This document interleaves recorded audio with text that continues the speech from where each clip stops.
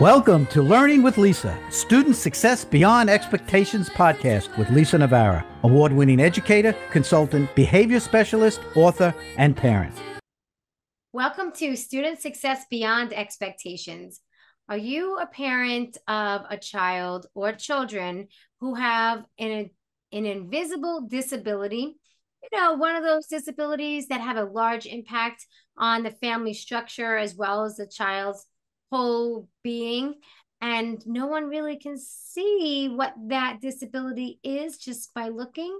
And so that makes you hesitant to go out in public. But not only does it make you hesitant to go out in public because your child might have a sensory meltdown or have a tantrum and it doesn't really seem to fit the way the child quote unquote looks compared to the severity of the tantrum or the behavior that might be seen but what about when you want to travel with your child who has an invisible disability? What's your first approach? Where do you go for information? And how do you find the best ways to make a vacation a fun vacation? Well, Dawn Barclay is here with us today, and she wrote the book Traveling Different, and she'll go into that title a bit more than I just did.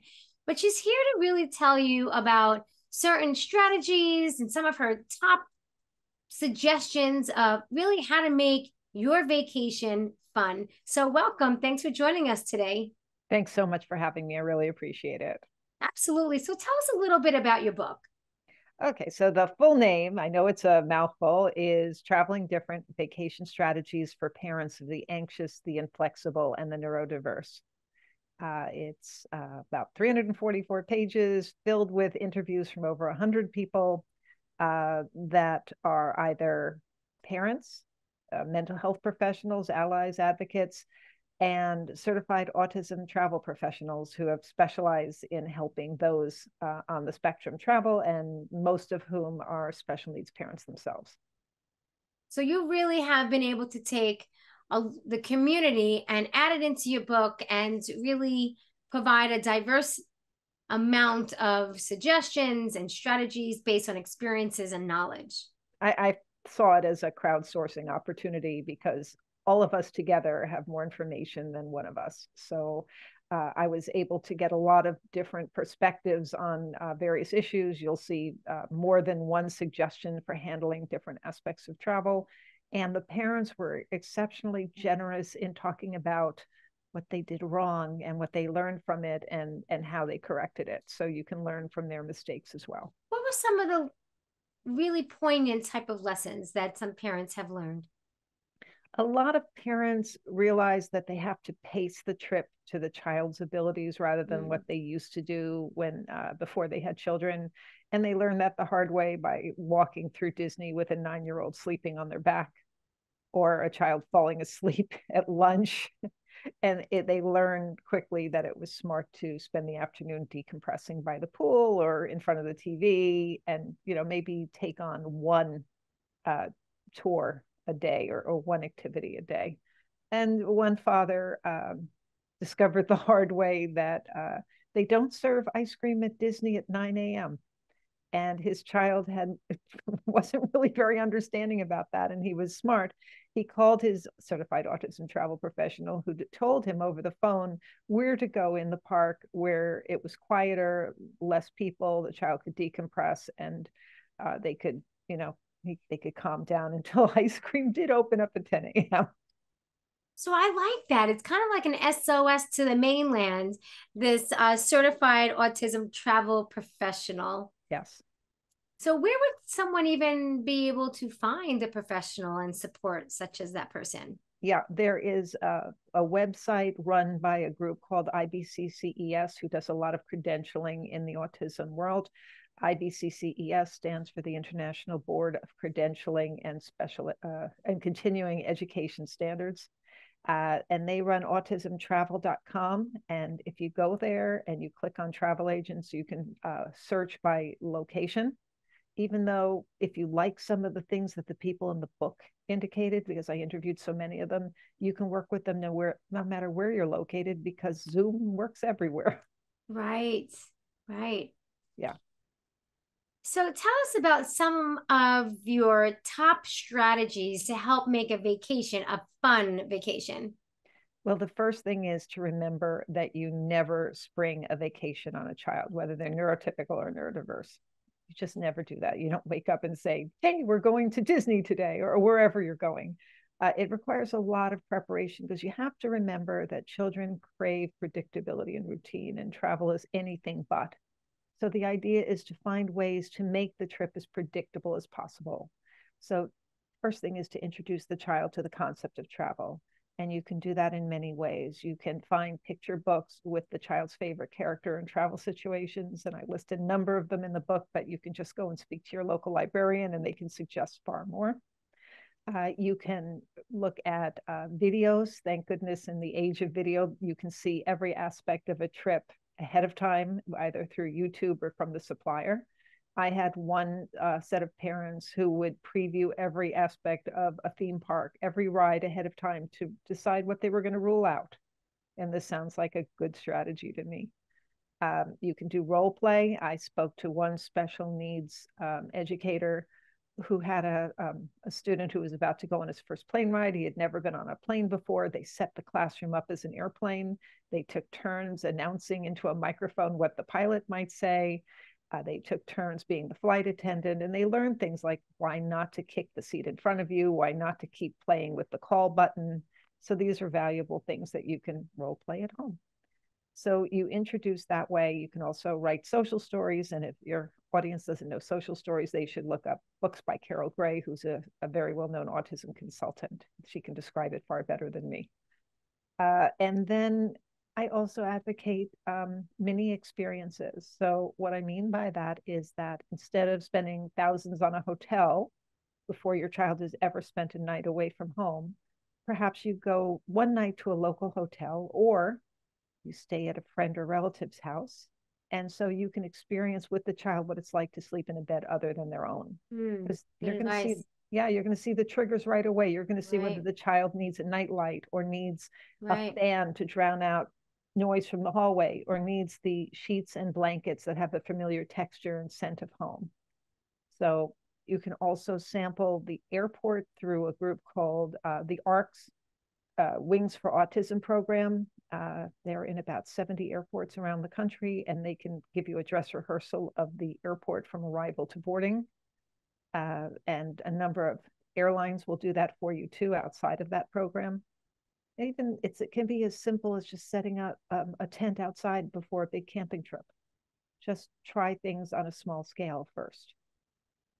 That's really great advice. It's you know it takes a little bit of a, a level of creativity to find ways to simulate what it is that you're going to be doing in the future. Yeah. Yeah. But it's important to sit down and prepare. So that's the next tip is that you should really think through the trip from beginning to end, every single aspect of the trip. So, for example, if you're flying into a city and your hotel provides a free jitney to the hotel, um, if you have a child who doesn't like crowds, doesn't like strange smells, you perhaps don't want to take that jitney. Perhaps you want to get an Uber or rent a car so that you have more control of your situation. So it's a matter of just thinking things through and also creating a child centric vacation. And that is more than just the pacing that I described before. It can also be um, thinking about having the child have a say in the vacation. So maybe vetting three different destinations with a certified autism travel professional. And then all those are approved by you and your significant other. Let the child decide the ultimate destination and also the things you do during the day. Uh, same thing, pre vet them first so there's no wrong answer because now your child has a vested interest in the success of the trip. Let them help in the packing and picking what they're going to bring and um, if they have special interests, as so many children on the spectrum do, why not build the vacation around that special interest by including special needs museums, uh, not special needs, special interest museums that will feed into that passion. Sure. See what's available. Yeah. So I include a very long chapter on special interests and all the places that you can feed into them around the country. How big is this book of yours? It sounds like it yeah. has a lot of information in yeah, it. Yeah, it's it's 344 pages. Wow. a, a, lot of work to put together. That's good. Yes. Yeah. I'm very I try to be very comprehensive. Yes. Yeah, I liked the fact that you were able to really solicit the information from a lot of people of some experience and knowledge based on what the topic is that you're talking about.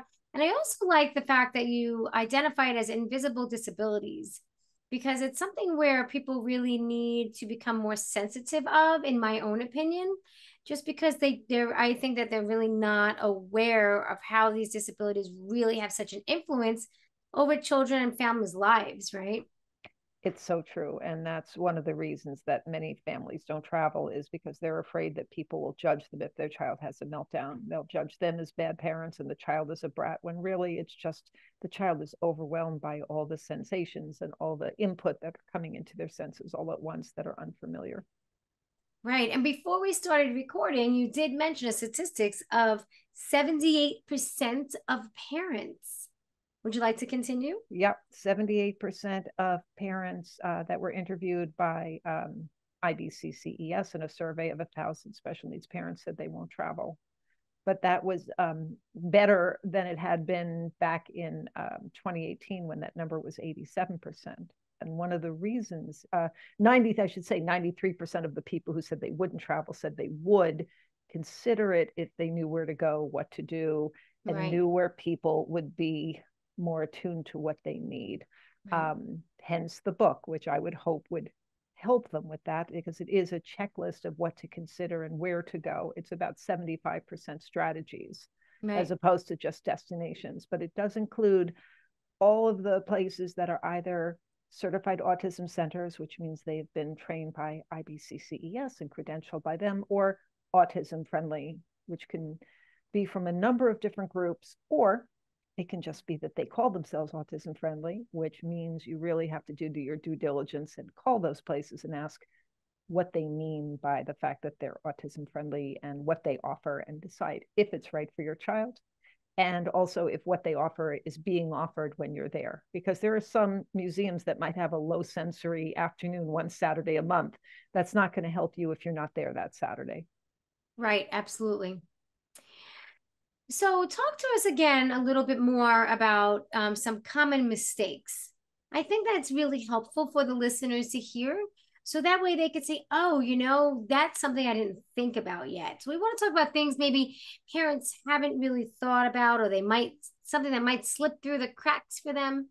Yeah. So you know your child. So um, the most important thing is to consider your child and how they're going to react as you plan this vacation from E to Z uh, always bring your go-to bag and I list it in every chapter. So if people think I'm being redundant, it's just that I think people are going to read whatever chapters apply to their particular ah, trip.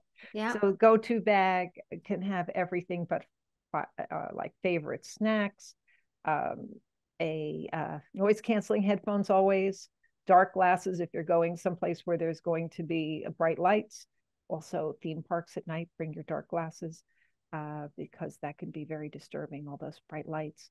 Um, fidget toys, uh, electronics filled with your favorite movies and, and television shows, anything that's going to keep the child occupied. I recommend a change of clothing as well, especially for the mom, because I have been vomited on uh, in flight. I know how disturbing that is, but also for the child uh, to bring a change of clothing for them. So the the bag is listed in every chapter and I, then I think everything else is is really dependent on where you're going and how you're getting there, which is how I broke the book down.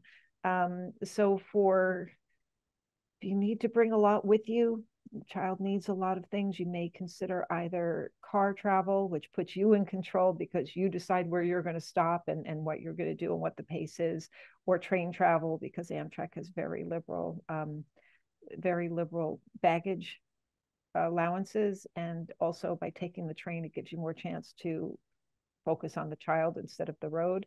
But say you are going on a road trip, you know, you want to scope that out in advance and figure out where you're going to stop. If your child is going to have a lot of pent up energy, you're going to want to stop, find where the playgrounds are, where the parks are en route. You may want to drive when the child is normally sleeping or you certainly don't want to have a child stuck in traffic um, and being wired and uh, you know rush hour you may want to skip rush hour and just decide you're going to be at a park during that time. So it's a matter of really being focused on whatever it is you're planning to do and that's where the tips lie. So i'd say the biggest mistakes are not preparing enough not viewing things on video uh, not realizing that you can always check in for a flight with one parent checking in, the other staying with the child in the stroller, or for a, a hotel. Now you have um, you have digital check-in at some hotels, so that you can do it all with your phone. You can also, I always recommend also um, staying at a hotel with a kitchen or kitchenette, so you can plan the child's uh, meals, especially if you have a finicky child there is a long chapter on restaurant dining. Ah, which, restaurant which, dining. Yeah, that was one of my issues with just having the screaming in restaurants. Um, but talking about ways to get around the problems in restaurants. For example, bringing a, uh, a stopwatch or a digital clock that works on battery and showing the child like in 10 minutes we're going to go for a walk and then we'll come back uh, so that you know you're not waiting endlessly for the food which you you sometimes are at least you're breaking up the time and the child can see what you know how much time is till they can go outside and take a walk. And uh, th- there's an end to the wait. So there's a lot of things like that ordering ahead of time at the restaurant so the some food is waiting for the child when they get there. Eating ahead of time so the child isn't starving when they get to the restaurant and maybe just having the child eat dessert while you're eating your main course. Tips like that Mm-hmm. Really great tips. Dawn, is there anything else that you feel like parents need to know before we leave? I think they need to know um, that if they check out my blog, which is at travelingdifferent.com, they are going to um, have access to my blog. And the blog has a lot of information that either updates or supplements the book. For example, I have a whole story on how to um, handle the come down after the trip, like when the child mm. has to come down from the high of vacationing, which would have been a great final chapter if I'd thought about it before the book went to print. Uh, but there's also a whole chapter on a, a company called Becoming um, Becoming Rentable, which is a um, a company that I found out about after the, the book went to print, um, that that's vacation rentals. And I also, if you're not going to stay at a hotel with a kitchenette, get a vacation rental. But a lot of them are self-reporting, which means that they might say that they're handicapped, you know, wheelchair accessible, or that they are uh, good for kids with autism. When really, no one's really checked it out. Well, the people at Becoming Rentable do check those things out, and so um, that is a very good resource to find even a hotel that will uh, or a vacation rental that'll cater to uh, people with vision and hearing um, problems as well as wheelchair needing a wheelchair accessibility or being on the spectrum. Parents you can hear all of these suggestions that we are discussing with you today. We hope that this has been helpful from the bag of go-to bag of, of everything that your child might want or co- that comforts him or her to really even ordering ahead at the restaurant. So there's a wide range of strategies and information here for you to explore. So thank you very much dawn. We're going to add in your information in the description so parents are able to follow through and find out some more information that can help them to make sure that their vacation remains a fun vacation. Thank you very much. You're welcome. Thank you for joining us. Thank you for listening to the Student Success Beyond Expectations podcast, where school leaders, educators, and parents meet on behalf of children who struggle with learning.